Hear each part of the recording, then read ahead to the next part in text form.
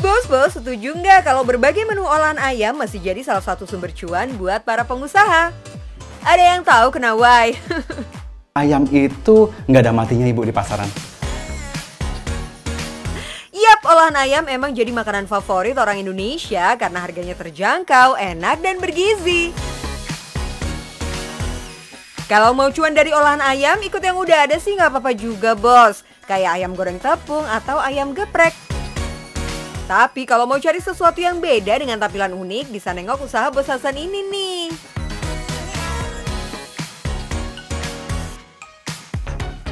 Bos, mau tahu nggak bisnis olahan ayam yang lagi hits? Bukan ayam tepung, apalagi ayam geprek. Nih di belakang saya ada ayam guling khas Korea yang cuannya menurut saya bikin guling-guling. Buat yang suka nonton drama Korea, pasti sering dong lihat penjual ayam kayak gini. Ayam utuh diguling-guling dan dijual menggunakan mobil pick up. Usaha ayam guling milik Bos Hasan ini dibuat semirip mungkin kayak di Korea sana loh bos. Usaha olahan ayam kan kompetitornya udah banyak ya bos. That's why Bos Hasan memilih olahan ayam yang belum banyak pesaing. Ide bisnis ini didapat saat Bos Hasan bekerja sebagai kontraktor di Korea Selatan. Padahal kan udah enak ya kerja di luar negeri, penghasilan pakai mata uang asing udah pasti didapat tiap bulan. Tapi kok masih mau aja mencoba bisnis dari nol? Dan harus zaman sekarang ibu kita punya kerjaan cuma satu nggak bisa. Kita harus punya backup. Contohnya saya punya uh, kerjaan kontraktor. Saya juga usaha ayam guling yang sekarang saya jalanin ini. Karena memang kita butuh. Karena saat ini kosong kita bisa isi dengan yang lain gitu. Ayam ala Korea ini proses pematangannya dengan cara dipanggang sambil diguling nih bos, makanya dinamai ayam guling. Mesin pemanggangnya juga khusus bos, dipasang pada mobil box atau pick up yang telah dimodifikasi. Kalau nama kerennya sih disebut food truck. Prosesnya mirip kayak kambing guling ya, cuma bedanya dimasak pakai mesin pemanggang modern. Terus biar matangnya merata diguling dengan mesin otomatis. Jadi nggak pegel ya kan? Irit tenaga deh bosku.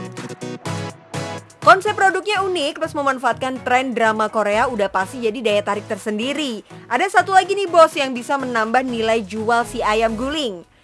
Karena prosesnya dipanggang tanpa minyak, olahan ayam ini rendah kolesterol. Pas banget tuh kalau target marketnya orang-orang yang pengen konsumsi makanan lebih sehat. Buat pengusaha memasak tanpa minyak juga jadi keuntungan. Gak perlu repot-repot nyari minyak pas lagi langka atau harganya naik. Konsep dan namanya sih ayam guling khas Korea. Rasanya ke Korea-Koreaan juga nggak sih? Ini hampir menyerupai Korea juga hampir dengan yang di Indonesia sama gitu. Kita sesuaikan. Kita emang kita bawa resep dari dari Korea Selatan yang pastinya halal ya. Pasti halal dan kita kombinasikan dengan rasa di Indonesia gitu. Di Korea sana, ayam guling biasanya menggunakan bubuk cabai, minyak wijen, dan bawang putih sebagai bumbu utamanya. Karena dijual di Indonesia, bumbu yang digunakan sih mirip-mirip bos, tapi ya tetap ada sentuhan lokalnya. Misalnya penambahan bumbu kecap dan saus cabai untuk cita rasa khas Indonesia. Cucoy ya kan bos, biar dikata pada demam Korea, tapi kan gak semua lidah orang Indonesia cocok dengan cita rasa asli Korea. Ayam-ayam yang udah dimarinasi kudu didiemin dulu bosku, minimal satu hari biar bumbunya meresap. Baru deh disusun dalam besi khusus mesin gulung ini. Buat matang sempurna sampai ke tulang-tulangnya lumayan lama nih, butuh waktu minimal 2 jam.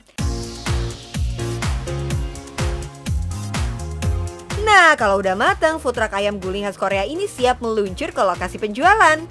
Yes, biar pakai mobil bukan berarti jualannya bakal keliling-keliling macam tahu bulat ya bos. Cukup mangkal di pinggir jalan aja.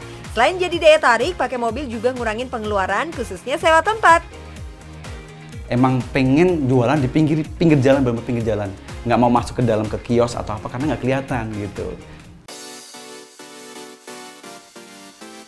Bener aja kan, baru mangkal sebentar, eh pelanggannya udah pada berdatangan tuh. Nah, sebelum dikasih ke pembeli, ayamnya sedikit dibakar dulu, terus ditambah dengan bumbu kecap dan saus cabai. Dikenal punya cita rasa yang unik dan enak, nggak heran sih bos kalau bos Hasan udah punya banyak pelanggan setia. Sebenarnya sih usaha ini didirikan oleh bos Hasan dan rekannya. Awalnya dijalani di kota Yogyakarta yang kini dikelola oleh rekan bisnisnya. Untuk melebarkan saya, bisnis ini buka cabang di Cibinong, Bogor yang dikelola langsung oleh Bos Hasan. Biar berjauhan tapi mereka tetap kompak untuk terus memutar roda bisnisnya. Bisnis olahan ayam ala Korea ini memang terbilang masih seumur jagung, baru banget berjalan sekitar satu tahunan bos. Tapi udah punya empat mobil untuk berjualan. Rata-rata satu food truck bisa menjual minimal sekitar 70 ekor ayam guling per hari. Cus, cukup dengan harga Rp55.000 aja udah bisa ke Korea. Maksudnya nikmatin ayam guling Korea gitu bosku. Dalam satu hari, omset yang didapat di setiap food truck sekitar 3 jutaan ya bos. Dikali 4 food truck ya sekitar 12 jutaan lah paling sedikit. Gimana kalau dikali sebulan? Bikin guling-guling gak tuh bos omsetnya?